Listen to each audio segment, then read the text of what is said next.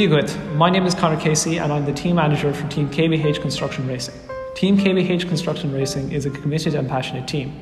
It consists of three different people, each offering a unique skill set and a different perspective to the challenging problems we face in this competition, be it engineering or entrepreneurial related. Through this, we strive to create the best work possible, and we hope to take valuable learning experiences from this process. Today, I'm going to walk you through our pit display.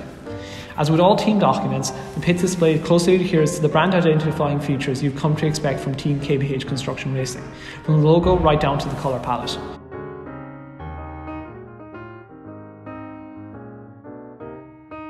Now, as you can see, the pit display is divided into three distinct sections.